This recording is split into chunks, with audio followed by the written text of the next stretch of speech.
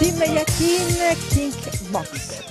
Allora, senti un po', questa giornata dedicata allo sport hai portato tutti i bambini, a parte anche gli adulti più grandi, cioè, Sì. ma però tantissimi bambini, vuol dire che è uno sport che praticano anche i bambini. Diciamo che è uno sport che è molto in crescita perché comunque sia... eh, diciamo che ultimamente negli ultimi anni si sta, la fa vedere molto anche le tv, tipo Italia 1, questi qua, quindi prende più visibilità i bambini, visto che sono piccolini, guardano molto la tv, di conseguenza incuriosisce più che altro la tv, questi negli ultimi anni insomma. Eh, ci abbiamo anche adulti ovviamente che sono un po' agonisti, questi qua sono due o tre agonisti, sono venuti qua, non sono molto in forma dopo le ferie, però dai, se continu- rimettono, eh. Sì, certo, dal primo settembre siamo aperti, dal lunedì al venerdì. Palestra Olimpichina Subiano, via Europa 30. Bene, allora naturalmente come la chiama lui la kick, più o meno. Kickboxing. È vero, no. Però ecco, voglio dirti, eh, questo tipo di attività, questo tipo di disciplina, eh, considerando che sono dei bambini, non è una disciplina aggressiva. No, assolutamente no, assolutamente Sto no. pensando al carattere dei bambini, no? che non si formino dei bambini aggressivi, ma invece dei bambini riflessivi, attenti, semmai a quello che li circonda. Allora, i bambini innanzitutto quando entrano in palestra fanno tutti il salutino, vengono tutti vestiti uguali, come una volta a scuola che tutti andavano con il suo vestitino perché devono essere...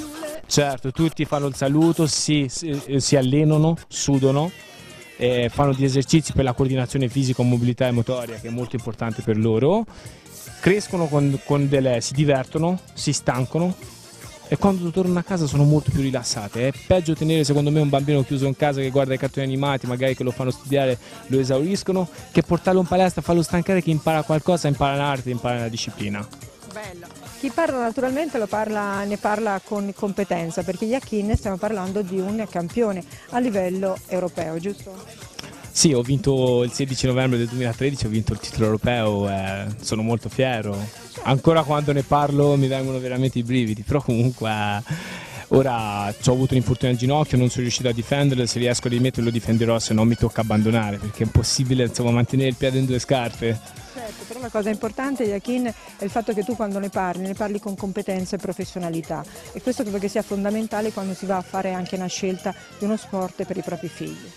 Certo, certo, certo che sì, certo che sì. Io ci metto veramente cuore e anima sia con i bambini che con tutti perché comunque sia, ovviamente è uno sport che comunque sia, dipende come viene fatto, se viene fatto a livello amatoriale c'è un sacco di coordinazione, un sacco di, in base all'obiettivo del ragazzo, però viene fatto con molta disciplina. Con molta disciplina lo insegno con tutto il cuore perché comunque voglio che loro abbiano più o meno, anche diventano anche più bravi di me un giorno.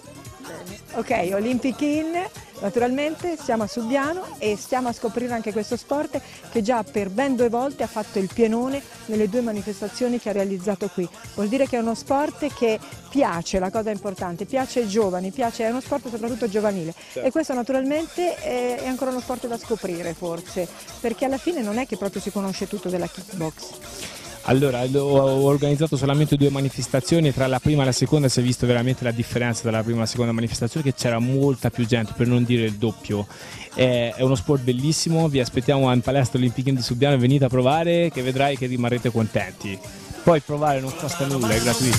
con la otra mano, con el brazo, brazo, con otro Giorgio Cervai in questo